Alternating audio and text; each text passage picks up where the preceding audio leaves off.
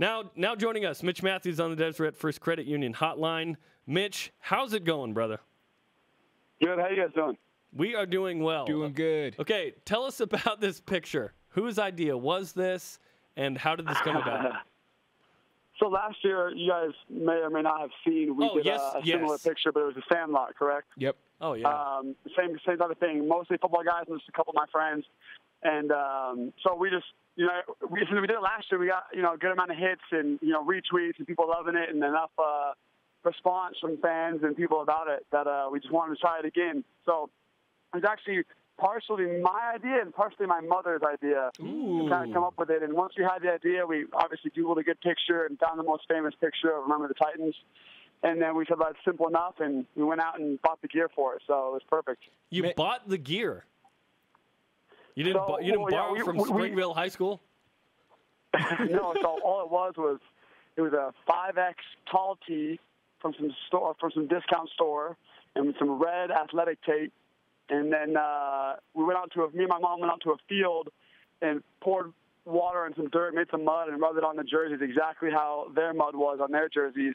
And then uh, so, I mean, it took a couple hours. It took a little bit of effort, but that's how you made a good Halloween costume right there. Nice. Moms always are the best and the most creative when, when helping out on projects. Mitch, Mitch, how did you cast this? Did you just go up with, with pictures up to each each of the players in the locker room and say, ah, nope, you look good. Nope, you don't look good. Yeah. well, some are obvious. I mean, some you look at right away and you're like, that is, there's no other person that could could do that. Obviously, Sunshine didn't have, or he had, the, you know, hair, um, the long locks, but none, no one on the team can have that due to honor code. So me and Nick Kurtz had to buy wigs to wear, and uh, that's how we got the that's how we had long hair because. I mean, we couldn't. If we would have thought about this maybe 10 months ago, we could have grown out our hair and dyed it blonde. But we thought in the spur of the moment, just buy a couple of wigs. But everyone else looked great and they looked the part and it was perfect.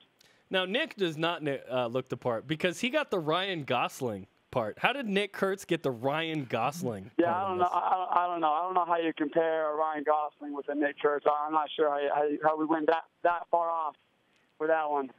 Now, now the the kidding, o, the O lineman's Ryker Mathews. Now he now uh, he's Perfect. perfect, right? Perfect.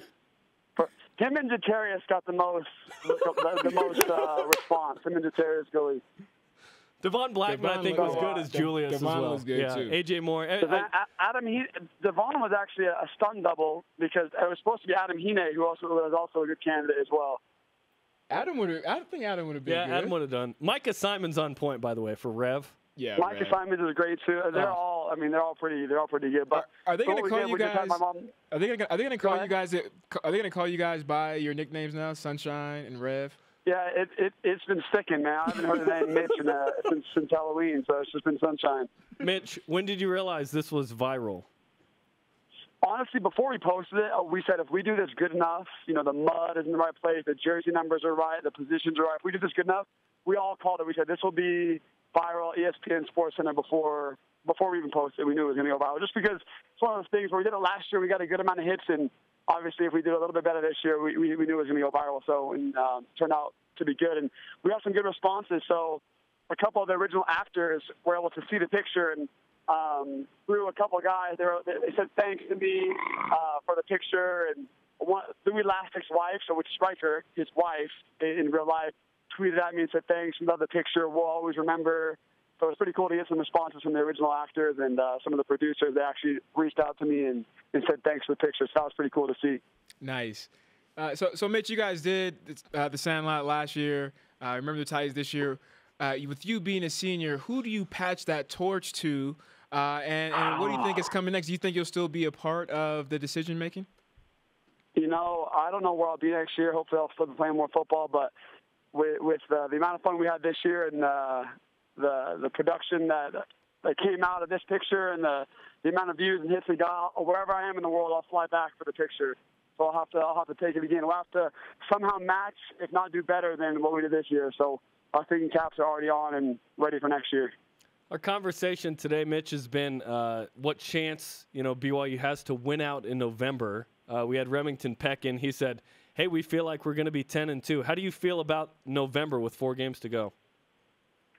Um, you know, we have great teams on the schedule. Um, it's the end of the season. Everyone's got injuries. Everyone's a little beat down, broken up. But I can tell that this team's hungry, hungrier than we we have been in years past to finish strong because we got something to prove. You know, three, eight, and five seasons is uh, something that you can't get used to and you get sick of. So, me being a leader on the team and being a senior is something that I you know, try to help establish and getting guys' minds that 10 and 2 for a regular season is completely possible, and then going to a great bowl game. And if you look at last year, every team that was 10 and 2 at the end of the regular season last year went to a BCS bowl or better. So it's completely possible to do that. It's completely possible. I think if guys have that in their mind that look, four games, we need to win these games. They're good teams. Completely respect all of them. You know, we have a chance to go to a big bowl at the end of the year and and make make another statement like we did at the beginning of the year. So you haven't ruled out a New Year's Six game as a possibility. You know, yeah, I mean, no. Uh, last year, a team even in the top 20 was in the BCS Bowl. You know, it's a team like uh, Boise State, Arizona.